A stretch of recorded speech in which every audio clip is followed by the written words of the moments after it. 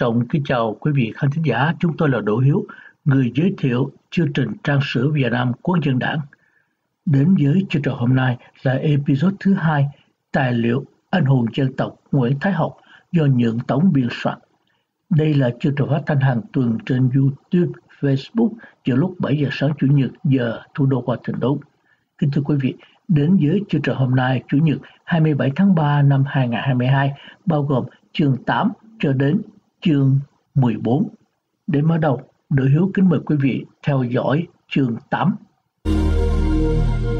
Chương 8 Nguyễn Quốc Túy Như đã nói, hồi ấy các sinh viên cao đẳng thường cùng chúng tôi làm chung mọi công việc vận động có màu sắc chính trị. Trong các anh ấy, có một nhóm lấy cụ nghè Ngô Đức Kế làm lãnh tụ. Trong đám đồ đệ của cụ, có ba anh tỏ ra vẻ sốt sắng nhất Trần Tiến Vĩ, Nguyễn Quốc Thúy và Nguyễn Văn Phùng. Trừ anh Phùng ra, người ta nói bọn kia thường mượn màu ái quốc để mưu đồ cả lợi lẫn danh. Tuy lúc nào cũng bố bô là đi với anh em lao động, nhưng họ đã sống một cuộc đời thật trưởng giả. Đi tất ô tô, ngủ tất nhà ả đào hay phòng khách sạn, và ăn thường là ở cao lâu, khách hay hàng cơm tây. Ấy là mỗi khi họ đi công cán ở một tỉnh nào. Tiền đâu mà họ xài lớn như vậy? Vì họ không phải con nhà giàu, họ đã lạm dụng lòng tin lòng tốt của mọi người. Họ đã ăn chơi bằng những tiền họ đi quyên. Lúc thì quyên giúp anh em trường bưởi bãi khóa, lúc thì quyên giúp anh em trượt bách nghệ đình công, lúc thì quyên giúp anh Phạm Tất Đắc ở tù vì tội viết và xuất bản cuốn Chiêu hồn nước nhưng người ta không ngờ đến rằng trong đó lại có kẻ hạ mình quá thấp đến địa vị trâu chó. Tôi còn nhớ trong hồi xảy ra vụ Bắc Ninh, Nguyễn Văn Phùng thình lình bị bắt. Sau khi được tha, Phùng lên thăm chúng tôi ở Nam Đồng Thư xã. Khi ra về, Phùng buồn rầu mà nói. Các anh phải coi chừng, mật thám ở ngay bên mình chúng ta đó. Không vào trong ấy, không ai có thể tưởng tượng được mực đê tiện của giống người. Tôi hỏi, ai vậy? Phùng đáp, nói ra không tiện đâu, nhưng anh cứ dân lòng vì không phải ở trong đám các anh. Lời Phùng nói làm tôi nặng một mối ngờ. Cho mãi đến năm 1929 một hôm ở trong quả lò, người ta đã gọi lên cho dở coi hồ sơ của mình để mà viết bài tự binh vực. Tôi mới biết rõ ý nghĩa của câu Phụ nói. Trong hồ sơ, tôi thấy kèm có hai tờ khai của Túy trong năm 1927. Mới đầu năm, vía cuối năm mà Túy đổi khác như hai người vậy. Đầu năm ấy, nhân dân đưa Bắc Ninh đón cụ Phan Bội Châu ra chơi. Túy cùng mấy anh em nữa đưa ô tô vào mời cụ. Ra đến Vinh, mật thám rước cụ quay về và giữ Túy lại hỏi. Đại khái Túy đáp, ông cử can dựng lên đông kinh nghĩa thuật thật, như bây giờ Ông ấy già rồi, vừa nhút nhát, vừa gàn dở. Ông Hoàng Tăng Bí thì có gì? Khi xưa vào nghệ thuật cũng là bị lôi cuốn theo phong trào, còn bây giờ thì chỉ muốn yên tâm. Lại làm thuê cho lão Nguyễn Văn Vĩnh là người đối với quốc dân mất hết tín nhiệm. Riêng cụ Ngô Đức Kế là tay cách mệnh, sáng suốt, lúc nào cũng cương quyết, vững bền, không dễ lấy tiền mà mua chuộc được. Vì vậy chúng tôi năng lui tới nhà cụ để nghe lời chỉ bảo.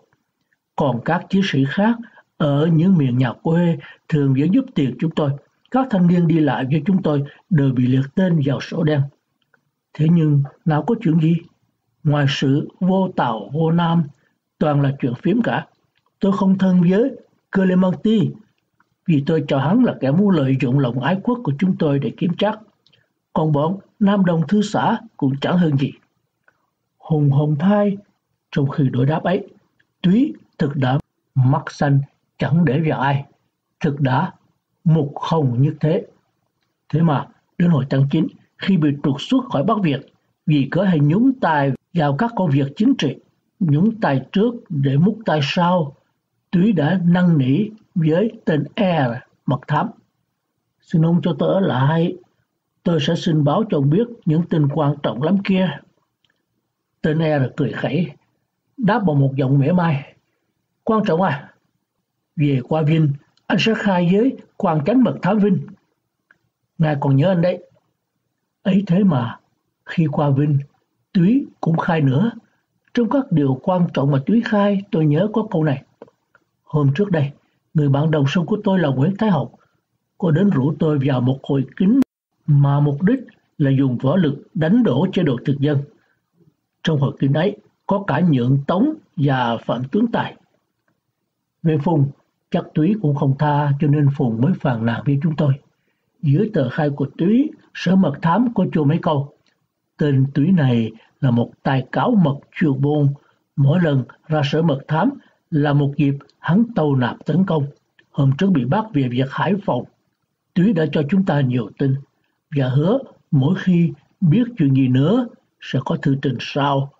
Thư ấy sẽ không ký tên và đánh một chữ thập làm dấu. Cho hay những hãng đê hạ ở đời dù được việc cho người ta mà người ta vẫn coi thường, coi rẻ. Cái ấy tôi gọi là thiên lý tại nhân tâm. Chương 9 Việc Hải Phòng Tôi vừa nói đến việc Hải Phòng vào khoảng tháng 8 năm 1927 ở Hải Phòng không hiểu tại vì sao xảy ra việc qua xung đột. Người ta kéo bè, đánh người Tàu ở ngoài phố, rồi đến sấn vào phá phách các cửa hàng. Có người cho đó là thủ đoạn của nhóm thực dân Pháp. Họ bỏ tiền ra thuê bọn du côn gây sự lôi thôi. Nếu người mình giết kiều dân Tây ở bên này, thì chính phủ Tàu hoài hơi đâu mà giúp đỡ cho bọn cách mạng Việt Nam ở bên đấy biết cái mưu cai độc ấy anh em Việt Nam thanh niên cách mạng đồng chí mà tổng bộ đặt ở Quảng Châu liền rải trường đơn vào đêm 22 tháng 8. Trong trường đơn nói rõ các tình tệ cuối cùng khuyên người mình, người Tàu cùng giống da vàng không nên mắc mưu mà làm những việc vô ý thức như thế. Trái lại nên đồng tâm hiệp lực mà tẩy uế chế độ thực dân là mối hại chung. Trường đơn ấy rải ra, người Hải Phòng bị bắt lung tung. NG, MB, một văn sĩ kim y sĩ liền tâu với sở mật thám là có lẽ doanh Phạm Tuấn đi rải. Nguyên chúng tôi khi ấy thấy việc qua xung đột cũng sốt ruột, sợ nó lan lên đến Hà Nội, liền phải tìm phương đối phó. Một mặt nhờ các anh em du côn lãng vãng canh các phố khách, nhất là các hiệu ăn nếu kẻ nào tìm cách sinh sự với người khách, anh em sẽ thẳng tay trừng trị ngay. Một mặt đến bảo các ông ban trưởng thông tri cho các người Tàu. Nếu gặp người Việt Nam nào sinh sự thì đừng đối đáp lại một cách quá nóng nảy. Tuy nhiên, sẽ có đồng bào chúng tôi đến can thiệp và hòa giải. Nhưng còn muốn điều tra cho thật rõ nguyên nhân, chúng tôi liền các anh học và anh tài xuống cảng xem xét tận chỗ nhưng thể đi tuyên truyền ở hai hạt Hải Phòng Hải Dương. Các anh đi hôm 24, về hôm 26, đến 28 thì mật thám đến khám Nam Đồng Thư xã và bắt anh Tài đem đi. Đó là kết quả về lời trình của BB chỉ quen có tài nên không tâu gì về học. Nếu không, học cũng bị bắt rồi, còn chi. Nhưng khi giải đến cản hỏi thì họ biết là trường đơn chẳng rãi từ tài tài. Việc đã xảy ra từ ngày 22, nghĩa là hai ngày trước khi Tài có mặt ở đây. Giả lại, khi khám thư xã cũng không bắt được tăng việc gì khả nghi cả. Họ liền than Tài về. Tuy vậy, từ đấy anh cũng bị chú ý nhiều hơn trước. Họ cho việc để anh dạy học ở trường Đỗ Hữu Vị là một trường tập sự. Các viên giáo tập là khá bề lợi hại. Họ rắp tâm đổi anh đi xa hẳn đất Thăng Long. Chương 10 Việc Bắc Ninh Ngoài việc Hải Phòng, hồi ấy còn có một việc nữa là việc Bắc Ninh. Muốn cho hạ cái khí bất bình của cả một dân tộc đã chất chứa lại bao năm, một số anh em thảo giả anh hùng ở Bắc Ninh mưu tính làm một việc khởi nghĩa. Đứng đầu việc ấy là ông Quảng Trạc và giúp sức có cả các dư đảng của Hoàng Hoa Thám khi xưa. Anh em chế bom, anh em rèn gươm dao, anh em định lấy hai điểm Bắc Ninh và Đáp Cầu. Nghe chúng tôi ở Hà Nội có ít nhiều đồng chí, anh em liều phái người sang nhờ chúng tôi giúp sức. Gặp nhau trên gác Nam Đồng, Tôi bảo người sứ giả, dù cho lấy được hai nơi ấy nữa, chỉ trong bao hôm chúng ta sẽ bị đè bẹp, gần Hà Nội quá. Sứ giả đáp, phần thôi thì cầm chắc, nhưng ít ra nó cũng ảnh hưởng được bằng việc Thái Nguyên. Tôi nói, nhưng ta còn yếu lắm, yếu vì thiếu tổ chức. Hiện nay các đồng chí xa gần đưa bắt đầu tổ chức, đó là một hy vọng. Nếu việc các ông làm mà hỏng, nhóm thực dân tất hà độc thủ về các nhóm bí mật. Một khi tăng nữa, các nhóm ấy gây dựng bao giờ cho lại? Thời cơ chưa đến. Việc các ông làm thấy lợi ích mà hại nhiều. Sứ giả cười, ô ông còn trẻ, ông có thể đợi thời. Anh em chúng tôi phần nhiều đứng tuổi có rồi không làm ngay sợ xương mục cũng như cây cỏ thôi. Biết thế trận gai go, tôi xoay mặt khác. Thôi cũng phải. Thế nhưng việc Thái Nguyên là làm ra từ tay quân đội sẵn súng. Muốn làm được thế các ông đã tuyên truyền đưa binh sĩ làm nội ứng chưa? Sứ giả đáp. Ở Bắc Ninh đã được về ông đội. Ở đáp cầu thì phần nhiều là lính Tây với lính Lê Dương cả. Nhưng anh em cũng đã có ít người. Vậy phương lược tiến công các ông định ra sao? Chúng tôi định đánh ở ngoài. Nửa đêm anh em sẽ đem bom ném vào các trại. Và nhân lúc chúng rối loạn không đề phòng, ta sẽ ra tay. Sáng ngày sẽ lấy súng đạn đánh Hà Nội. Tôi mỉm cười. Tôi thì không tin như thế. Tôi cho rằng đồn nào cũng có lính gác và có tường, có rào cẩn thận. Trong lúc anh em tiếu vào, lính gác sợ hô. Muốn sống thì đứng lại. Muốn sống thì dừng lại. Không dừng. Chúng bắn. Và chúng hô thêm người bắn gươm dao, đoàn đoán chống đoàn trừ sao được. Anh em sẽ có kẻ quăng cả dao mà chạy. Sáng hôm sau các báo sẽ đăng là đêm qua hai đột lính Bắc Ninh và Đáp Câu suýt mất trộm. Mà lính gác không ngủ, bắn súng ra thì kẻ trộm ù chạy quăng lại mấy con dao đây. ấy thế, làm gì có tiếng tâm được bằng việc Thái Nguyên? Giọng nói hài hước ấy đã làm cho sứ giả mặt nảy hồng quang và cũng làm cho tôi suýt nữa thì mất đầu. Số là đến khi anh em họp bàn thì đa số quyết nghị là nên đem toàn lực ra giúp anh em bên kia. Tôi và anh Vũ Hiển viện bao nhiêu lý do ra đều vô công hiệu. Câu hỏi cuối cùng của tôi. Cũng như là chúng ta không sợ chết rồi. Nhưng xin hỏi các anh, chúng ta là việc cốt được việc hay cốt lấy chết? Một anh trả lời tôi. Chúng ta hãy làm lấy chết đã. Sẽ còn có những người tiến sau ta làm lấy được việc. Sau một tràng phó tay, đến một hồi, bốn tường im phắt. Tôi vẫn hiển thở dài cúi đầu để làm các việc. Việc của tôi là phải thảo một tờ hình thảo xong, giao xong, tôi nằm trên gác năm đồng mà chờ chết. Nhưng cái chết đã không tới. Vì cái mưa của anh em bình bắc bại lộ và khắp nơi xảy ra những việc khám nhà bắt người. Mấy hôm sau, anh Hiển bảo tôi, anh có biết không, anh em mình bắt yêu cầu giết anh với tôi trước khi khởi sửa Hà Nội. Từ đấy anh Hiển không làm việc với chúng tôi nữa. Có lẽ vì thế anh em nóng nảy quá có thể gây cho anh cái chết chẳng đặng lòng. Về việc này, một tên thám tử treo danh học. Tên nào? Có hót với chủ rằng việc Bắc Ninh nếu không có học ngăn lại thì đã xảy ra rồi câu ấy đã hoàn toàn không đúng với sự thật. Chương 11 Tổng bộ đầu tiên Những việc tôi vừa nhắc lại toàn là những việc xảy ra khi Việt Nam Quốc dân đảng chưa ra đời mà chúng tôi mới chỉ là một nhóm anh em đồng chí. Trên, tôi đã nói đến cuộc hội đồng cuối năm 1927, kỳ ấy, nay tôi nhớ lại, tất cả mọi người trong đệ nhất chi bộ chúng tôi đợt xuất tịch Trái lại ở các nơi mỗi tỉnh cứu về một người. Một cuộc hội họp ngót bốn chục người mà cơ hồ nghe rõ cả từng con mũi bay. Chúng tôi nói nhỏ mà anh em cũng đủ nghe. Anh học làm chủ tịch, còn anh Đạt đứng giữ trật tự. Vì im lặng tôn nghiêm làm cho người ta nghĩ đến những việc thiêng liêng cao cả. Tôi tưởng đâu như hết thảy các vị anh hùng cứu quốc đừng đứng ở trên đầu trên cổ mà chứng giảm chúng tôi do kỳ hội nghị ấy bầu nên một tổng bộ lâm thời. Tổng bộ gồm có 15 người, anh học làm chủ tịch, anh nghiệp làm phó chủ tịch, ban tuyên truyền thì tôi làm trưởng ban, anh cử nhân Lê Xuân Hy làm phó. Ngoại giao anh Nguyễn Ngọc Sơn, anh Hồ Văn Mịch, anh Nguyễn Hữu Đạt, anh Hoàng Trác, Tài chính anh Đặng Đình Điển, anh Đoàn Mạnh Chế, ám sát anh Hoàng Văn Tùng, tổ chức anh Phó Đức Chính, anh Lê Văn Phúc, ban binh vụ bây giờ chưa đặt, còn anh Phạm Tiềm, anh Tưởng Bảo Dân, nay tôi không rõ thuộc ban nào. Anh Phạm Tuấn Tài sở dĩ không ở tổng bộ là vì khi ấy anh đã phải đổi đi dạy học ở Tuyền Quang. Tổng bộ đầu tiên ấy đã là việc trong 6 tháng đầu. Dưới đây sẽ lần lượt kể công việc đã làm trong thời kỳ ấy.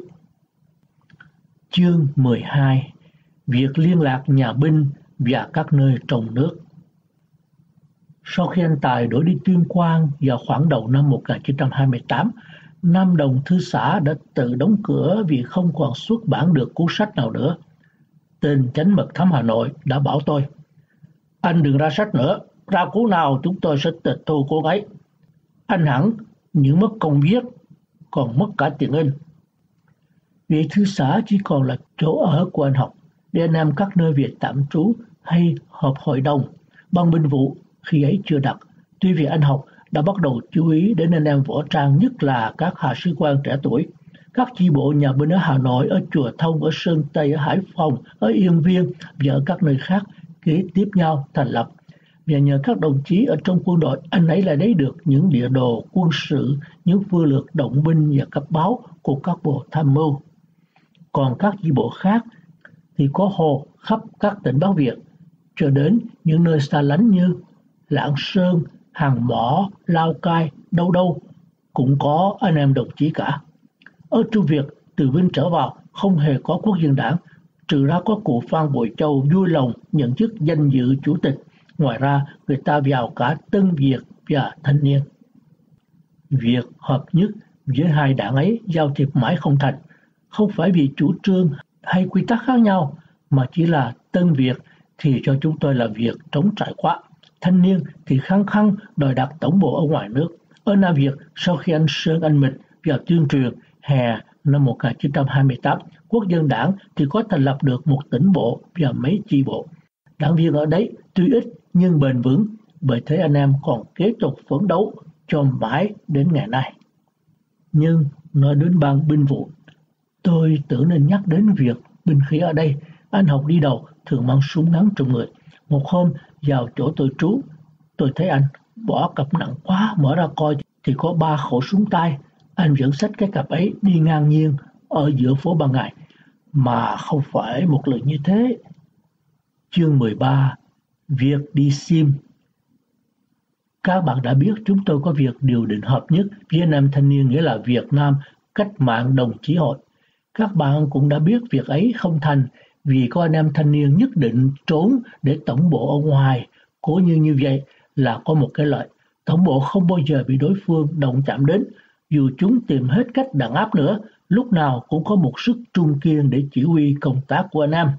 Nhưng chúng tôi thì cho rằng như thế có nhiều việc bất tiện lồi thôi. Việc bất tiện nhất là sống xa dân chúng ở ở quê hương các lãnh tụ khó lòng biết cách chỉ huy cho đúng hoàn cảnh và chăng sự liên lạc của ngoài giữa trong chỉ bằng cứ vào một số người giao thông rất ít. Những người ấy có thể làm quyền, có thể bán anh em, một khi họ là những người xấu, mà dù họ là những người tốt nữa, nếu họ bị bắt, bị tra tấn, cũng gây cho toàn đảng vô cùng nguy hiểm, mà việc họ bị bắt là việc lúc nào cũng có thể xảy đến. Nói rút lại, chúng tôi thì chủ trương phải để tổng bộ ở trong nước. Ý kiến đã xung đột, điều định đã không xong, mà việc bàn luận có nhiều khi trở nên quá khích. Có lần ở Lê Văn Phúc đại biểu cho chúng tôi trước mặt các anh em thanh niên đã lớn tiếng mà thét đã chắc gì Nguyễn Ái Quốc cách mệnh hơn là Nguyễn Thái Học mà nếu không chắc thế lấy cớ gì mà các anh bảo cái đa số bên trong lại phải nhắm mắt mà theo cái tiểu số bên ngoài trước sự tức giận của anh Phúc đại biểu bên thanh niên giấu dụ ngay anh này không dám binh việc chủ trương của mình nữa chỉ nói là mình không đủ quyền để bàn đến một vấn đề như thế, muốn giải quyết chuyện ấy, anh yêu cầu chúng tôi phải người sang Sim đúng ngày kỷ niệm Phạm Hồng Thái. Tổng bộ các anh giữa mấy cũng phái người về Udon để gặp nhau mà bàn việc hợp nhất. Vì thế mà ngày 22 tháng 5 năm 1928, tổng bộ họp ở Nam Độc Thư xã đã quyết nghị phái ba đại biểu sang Sim là Nguyễn Ngọc Sơn, Hồ Văn Minh và Phạm Tiệm. Mùng 2 tháng 6, phái bộ đi xe lửa từ Thanh Hóa vào Đông Hà. Sáng hôm sau, đáp ô tô qua Savanakhet rồi xuống tàu thủy lên Viên Chanh. Ở đây anh tìm có quen một người bên thanh niên, chủ một cửa hàng thợ may. Ông ấy đã đón tiếp anh em chúng tôi và thuê thuyền đưa các đồng chí qua Cửu Long Giang vào một buổi tối trời giờ sẩm tối. Bên kia sông Cửu Long là Nông Khai.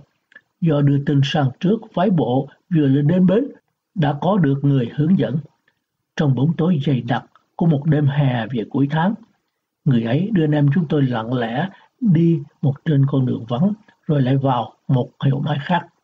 Thật là gặp những mai là mai, có ai ngờ là kết quả nó lại không mai chút nào. Sáng hôm sau, nhóm anh Mịch đi Udon, ở đó ba ngày, mới đến ngày 2 tháng 5, tức là 19 tháng 6 dương lịch, là ngày các kiều bào kỷ niệm nhà liệt sĩ của chúng ta ở Sa Điện.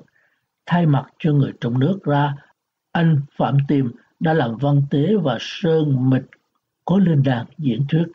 Các kiều bào ở Sim, những kẻ nhiệt tâm đều đã vào hội thanh niên cả.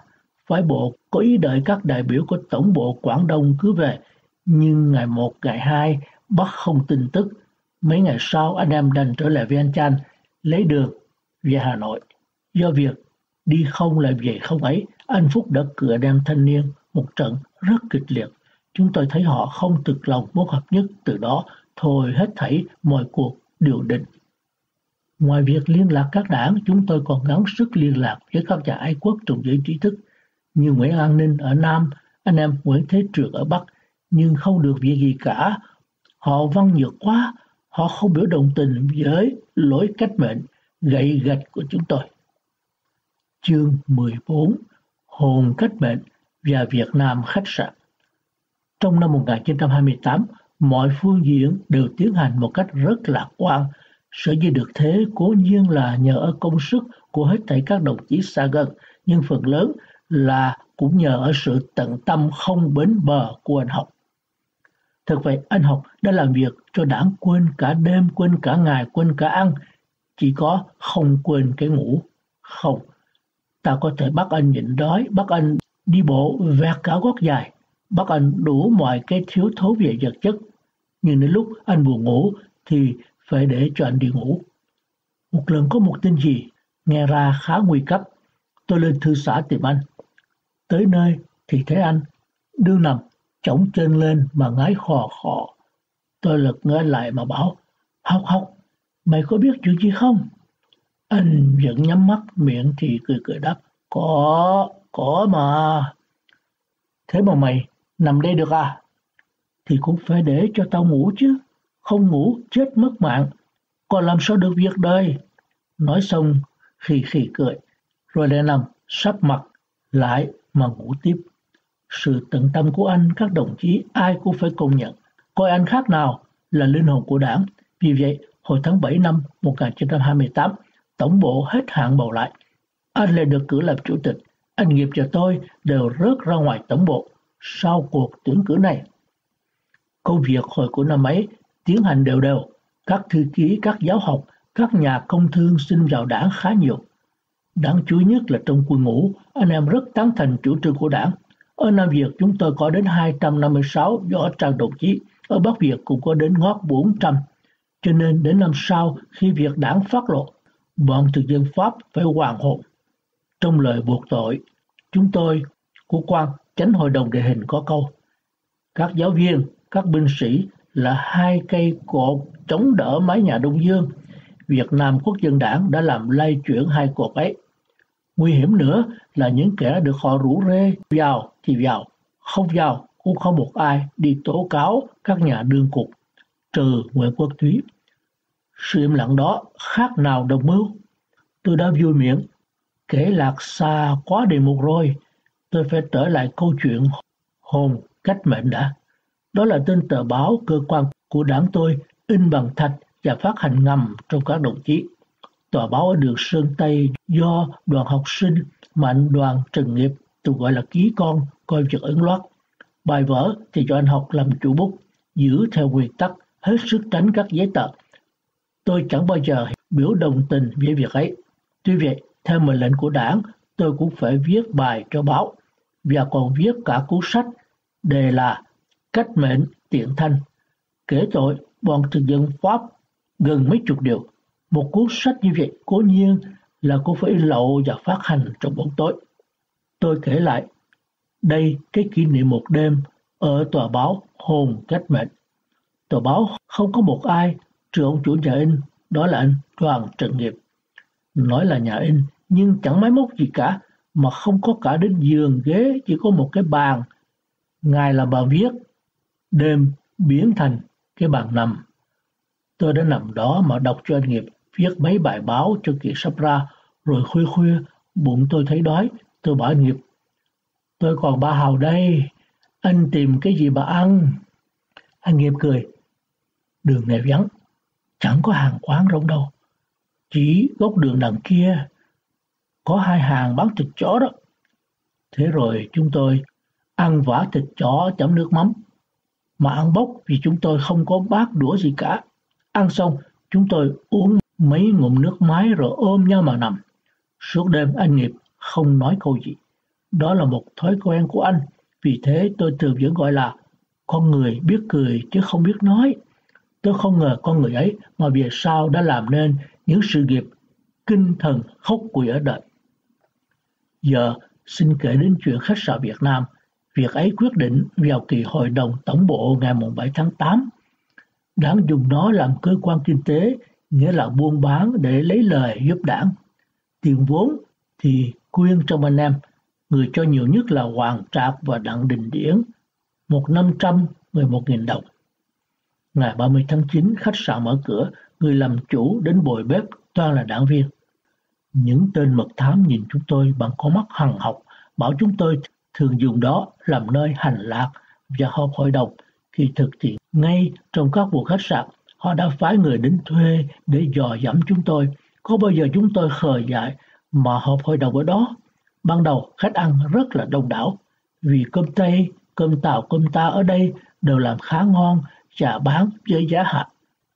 Nhưng kẻ địch đã cho người phao tin làm cho nhiều người sợ liên lụy không dám đến đó ăn nữa. Cho nên, đến khi chúng tôi bị bắt, khách sạn đã lỗ đến cơ hồ hết cả vốn. Nghĩ ra, việc kinh doanh ấy thật là một việc làm thực sách của chúng tôi.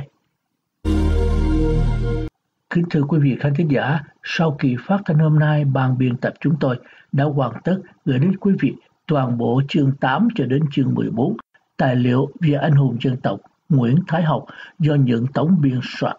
Kính chào tạm biệt và hẹn gặp lại quý vị khán thính giả trong buổi phát thanh tuần tới. Kính chúc quý vị khán thính giả và bộ quyến luôn may mắn, bình an và thành đạt trong cuộc sống.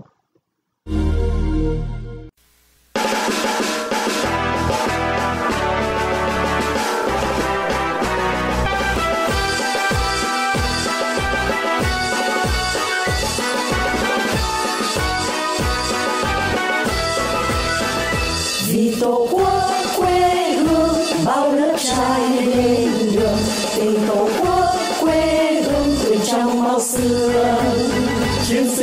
can trường cùng một lòng quyết chiến quân thù thật hào hùng hồi chuông yên bái vang xa muôn trùng cờ đại nghĩa tung bay trên núi cao sông dài vì tổ quốc lâm uy tình riêng xa chi. Khi tiết anh hùng dòng ngạc hồng đứng trước quân thù chẳng ngày ngùng ngày tan yên bái nước non